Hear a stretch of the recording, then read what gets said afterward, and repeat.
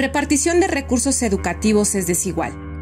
Cada año el gobierno federal entrega recursos a los estados para la operación de las escuelas de educación básica, pero lo hace sin considerar el desempeño educativo, la matrícula escolar y el número de docentes, expone un informe de Mexicanos Primero.